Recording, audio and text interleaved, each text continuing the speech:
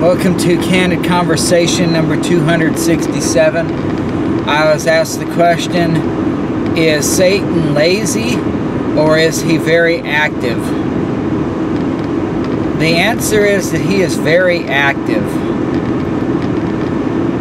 Peter says that Satan goes to and fro, roaring like a lion, seeking whom he may devour.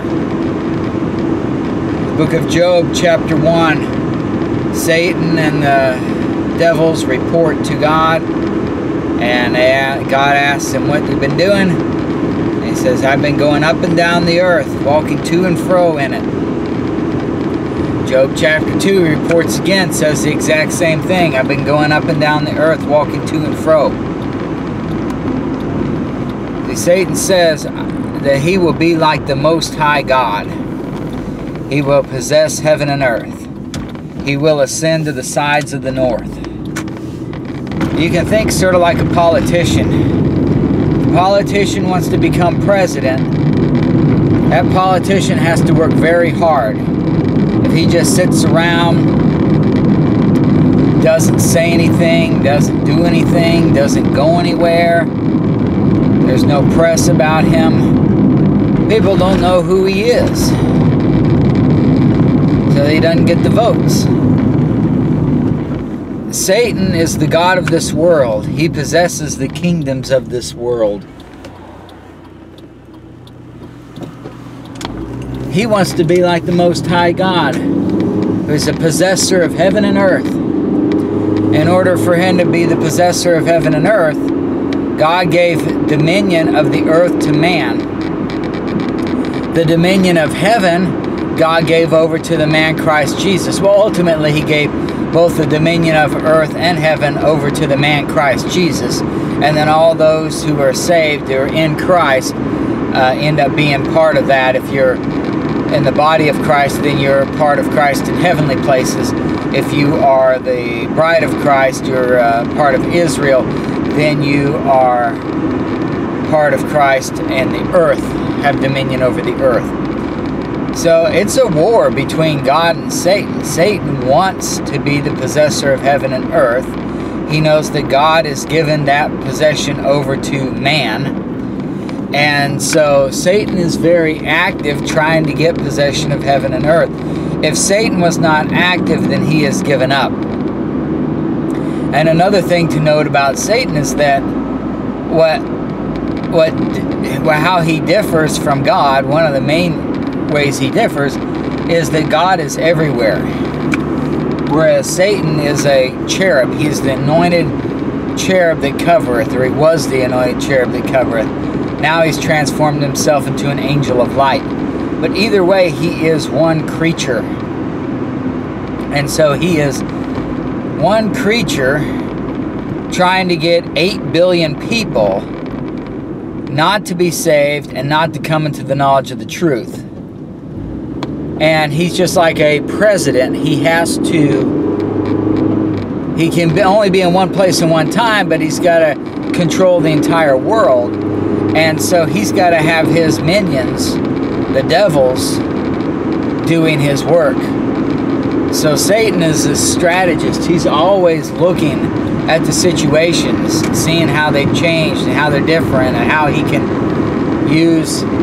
Ephesians 2 talks about how the children of disobedience, those who are unsaved, operate by the course of this world. And 2 Corinthians 4 4 calls Satan the God of this world. So if he is the God of this world, and he has established a course by which 8 billion, approximately 8 billion people are going to, where his goal is for them to not believe the gospel, not be saved. There in 2 Corinthians 4, it talks about if our gospel be hid, it is hid because Satan hath blinded the minds of the heart and the hearts of the people, lest they should, lest the light of the glorious gospel should come in, they should hear it and believe. Satan is very active in trying to blind hearts and minds so that you do not believe the gospel. The reason people think he's lazy is because he operates in a different realm. We are told in 2 Corinthians 5 7, we are to walk by faith and not by sight.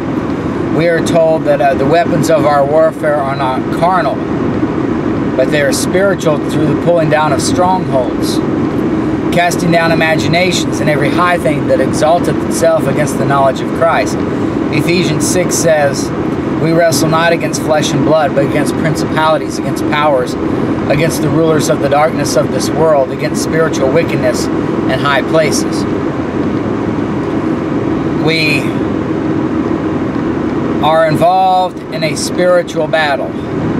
We're wrestling against principalities, powers, against the rulers of the darkness of this world, against spiritual wickedness in high places. But yet, we don't actually see that. This spirit, we operate as Christians, we operate in the spirit realm, and we are going against Satan's spiritual attacks. That's not to say that Satan personally attacks every single person, because remember, he's got 8 billion people in the world, and he's only one cherub. Now, he's got the, the devils with him. That's a third of the angelic realm sided with Satan, according to Revelation 12. But still, that's a lot of work. That's why he tells Job, or he tells God in Job 1 and Job 2, Where have you been? I've been going walking to and fro in this land. That's what you do when you when you own a land. You know, if you own a piece of land, you have a house on it, you own that piece of land. Well, you take care of it. You walk up and down it, you mow the grass, you edge, you uh, make sure you know there isn't an invasion. You put up a wall to protect it, a fence. You um, you protect your land. Well, that what do you have? A house and a and piece of land, maybe you have an acre of land. That's nothing compared to the entire world. Satan says the entire world is mine. He says, I'm possessor of heaven and earth. No, he knows that Jesus Christ won the victory on the cross, but he knows that when the fullness of the Gentiles be come in, so all Israel shall be saved. So Israel can't be saved till the fullness of the Gentiles be come in. So he, if he can stop the fullness of the Gentiles from being from coming in, then he can win. And the closer it gets to the fullness of the Gentiles coming in, Satan works harder. 2 Timothy 3:12 says, "Yea, all that will live godly in Christ Jesus shall suffer persecution." Why? Because Satan and his forces are trying to keep people from believing their Bibles and walking in it. Because if you do that, then you are prepared to take positions in heavenly places. The fullness of the Gentiles comes in. Satan no longer controls the controls the world, but the Lord Jesus Christ controls it through the body of Christ and the bride of Christ. So 2 Timothy 3:12 says all that will live godly in Christ Jesus shall suffer persecution. And then the next verse says, But evil men and seducers shall wax worse and worse, deceiving and being deceived. Satan gets them to be deceived. He deceives them and gets them to deceive others. And it gets worse and worse. So as the time draws nigh for the fullness of the Gentiles to be come in, as Satan sees more and more people qualified for the heavenly positions, he works harder and harder to keep it from happening. It's like if you are you're a boss and say you own a business and you have a hundred employees and you see more and more people you know and let's say all the hundred employees are your relatives so you want to keep them all in there they're the ones that um, you want to keep in there but then you see more and more people all around you learning the business and doing better than you are doing, well, then you want to try to put a stop to that so that you and your employees continue to do the job that you're doing and no one hurts your business. So you try to put down the competition. That's what Satan does. He sees these people who believe God and His Word and he says, Man, they're qualified to take our positions now And instead of doing things for evil, they're going to do it for good. They're going to believe God and His Word. And so I got to put a stop to this. And so He blinds the minds and hearts of people so they won't be saved. And if they are saved, so they won't come into the knowledge of the truth. Just over my short lifetime, I've seen the world and how they've gotten far. The, the churches, Christian churches, have gotten farther and farther away from the truth. When I was growing up, it was very common for churches to use the King James Bible. Now it's very rare for that. It was very common for people to preach about hellfire. You never hear that today. It was very common for the blood of Christ and Christ's death on the cross to be taught. It's not taught as much today. Satan and his forces are working hard. So if evil men and seducers wax worse and worse, then what that means is that Satan is working harder and harder to try to get people so they don't be saved and come into the knowledge of the truth. A good example of that is halfway through the tribulation period, Revelation 12 mentions that Satan and his angels fight against Michael and his angels and the devil and his angels are cast out. Neither is there found neither is there found any more place in heaven. No place found for them in heaven anymore. They're kicked out of their positions in heavenly places. And the church, the body of Christ, enters in those positions. So then what it says, rejoice ye heavens, for the accuser who accused the brethren day and night is cast down. That right there tells you he works hard he's accusing the brethren day and night. It's like, what do you do if you own a business and you got a thriving business and all of a sudden this other business comes in? You fight. Right now, for example, Amazon is doing very well online, taking business from Walmart. Well, Walmart doesn't just sit back and be lazy.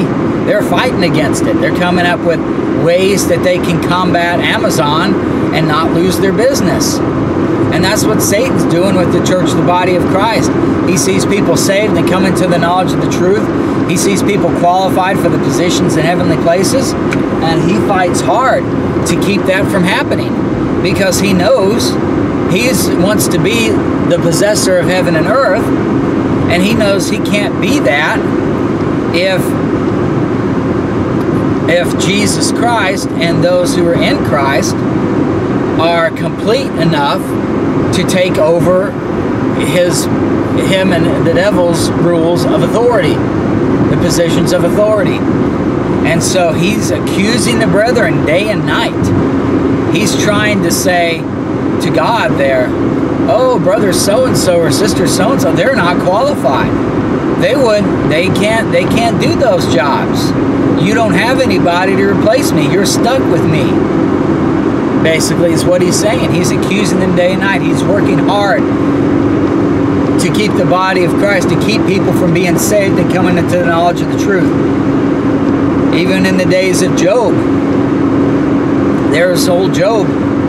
God says to Satan, Have you considered my servant Job? He's upright, he's just, righteous before me. Satan says, Oh, no, he's not. If I was to take away his positions, he would curse you. Possessions, he would curse you. And he takes away his possessions, Job doesn't curse him. He says, Oh, if I take away his health, he would curse you. He's fighting. He's fighting to keep the one man that God has identified as righteous. He's fighting to keep Job from being worthy of working with Christ as a possessor of heaven and earth. So anyway, back in Revelation 12, so Satan is the accuser of the brethren day and night before God in heavenly places. And then we're told,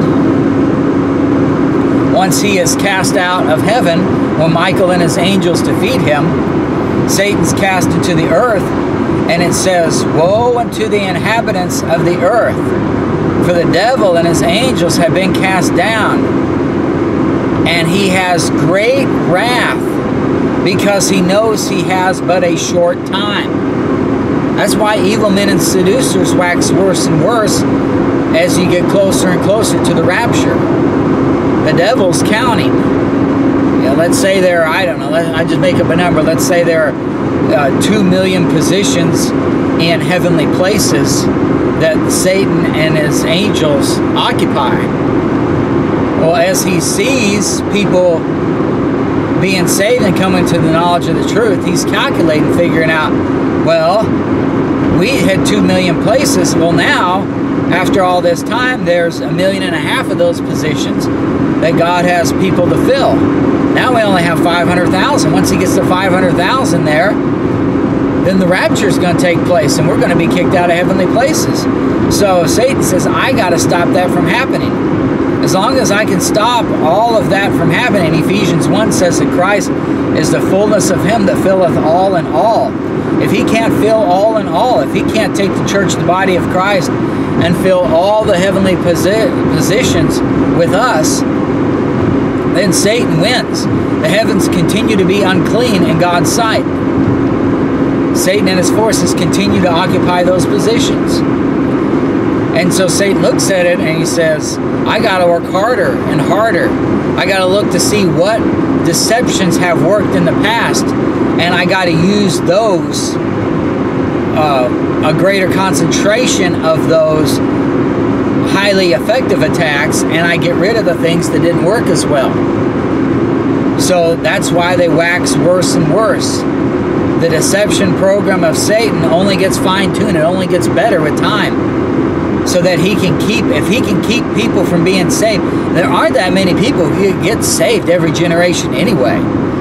And so if he can just cut it off completely then he wins. And he's just got to get that's that's why satan continues to fight and continues to believe that he is going to win why he's been fighting for 6000 plus years is because he knows it's sure Jesus Christ won the victory on the cross, conquered sin and death. But if no one believes the gospel, then no one gets saved. So there's two sides of it. There is what Jesus Christ did on the cross, but then there's also the free will of man. And if he can get it to the point where no one believes, then he wins. And that's why in 2 Timothy 3.13, when it says evil men and seducers shall wax worse and worse, that's why you get three verses later. It says that um, all scripture is given by inspiration of God and is profitable for doctrine, reproof, correction, for instruction in righteousness, that the man of God may be perfect, thoroughly furnished unto all good works. The one thing that keeps Satan from winning is the Word of God. The Word of God is eternal, it is perfect, it is uncorrupted, and it effectually worketh in those that believe. Second Thessalonians 2.13. And so if he can get, if Satan can get people not to believe God's word, then they're not saved and he ends up winning. So it gets worse and worse as the time grows shorter. And then after he is kicked out of heaven, then he concentrates all his forces on the earth. And it says there in Revelation 12, Woe unto the inhabitants of the earth. The devil and his angels have come down unto you, and they know they have but a short time. And so they're going to be working very hard to try to keep. They know that God has said at that time that there's three and a half years left, and then Jesus is going to come back and all Israel will be saved. So basically, Satan knows that if he can keep the earthly positions, governmental positions of God, from being filled by Israel during the last three and a half years of the tribulation period, then he wins. It's all a delay tactic, tactic with Satan. Because God is no longer God once he breaks just one of his promises. Once God does not keep his word in one place, then God has fallen and Satan's policy of evil wins. And God's promise that the Antichrist will have 40 and two months where he will rule over uh, rule over the world. That last three and a half years of the tribulation period. And so Satan knows that if he can keep all Israel being saved, during those last three and a half years, then he's going to win. Because even if, you know, even if God took longer, let's say it took him 20 years instead of three and a half, well, God's broken his promise. He didn't fulfill his word. The 70 weeks of Daniel is not true because it took longer than what he said. We even hear there in Matthew 24, it says, the elect will be saved, but God has to shorten the time, meaning he shortens it to the end of the tribulation period there. He doesn't allow the tribulation period to go on more than seven years, and the Great Tribulation doesn't go on for more than three and a half years. Because if it kept going on, it says no flesh would be saved. Why? Because Satan is working incredibly hard. And if he can get people not to believe, they have to endure unto the end in order to be saved, Satan wins. So there's this delicate balance in which God has said that man is going to, Israel is going to be saved, and it's during this certain time period, and he has to allow this tribulation to go on and for, in order for them to be saved. But at the same time, if the tribulation gets too hard, they're going to be deceived, and then no one will be saved. Now, there's nothing to worry about because God in his foreknowledge knows exactly what time period is needed and that's why he identifies it in the Bible and he knows it will work and so God will win in the end and we know that. But Satan's an unbeliever. He doesn't believe the Bible. And so Satan knows if he can just get God to fail in just one little area then he will win and so Satan continues to work very hard. Again, people may think he's lazy because you don't see him working hard. You don't see what's going on in the spiritual. I am spiritually circumcised. I'm spiritually baptized into de the, the death of Christ. I am risen with Christ. I am seated together with Christ in heavenly places. I am blessed with all spiritual blessings in heavenly places.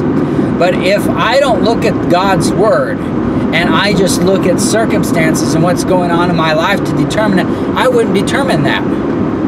I don't physically see in this material world any of my spiritual blessings in Christ. I don't physically see the forgiveness of sins. I don't physically see me being risen together with Christ in heavenly places.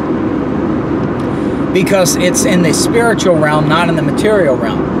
So Satan, you don't physically see Satan attacking. You don't see him, you know, killing millions of people and and uh, doing all these evil things. You just see the results of it. You see all these different Bible perversions. You see a clear gospel is rarely preached.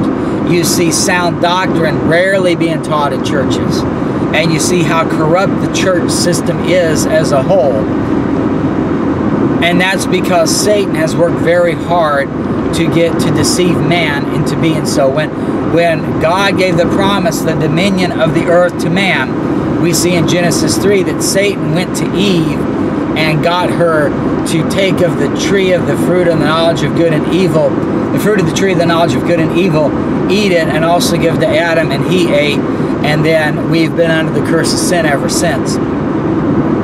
And Satan has continued to work hard. You through, look throughout Scripture, you can see but God made a promise to Abraham of giving him the land. It says the Canaanite was in the land. And you see Satan over the next 400 year, years filling that land with the seed of the devil, with these giants that were in the land, where um, devils had sex with women to create these giants in the land. That was Satan working hard behind the scenes in the spiritual realm to get them to do that, to keep God from fulfilling his promises. So today in the dispensation of grace, when God says he's blessed with us with all spiritual blessings in heavenly places, Satan is working behind the scenes very hard to keep us from actually obtaining that. He is doing everything he can to corrupt the heavenly places, to get man not to believe the gospel. That's why he says the light of the glorious gospel is hid from the hearts and minds of those who don't believe because Satan has blinded them.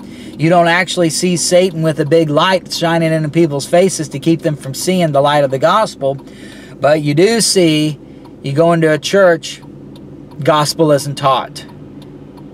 You ask somebody how to be saved, you don't get the correct answer. You try to recognize your sin, and the generation today doesn't recognize sin as word. They don't even know what sin is.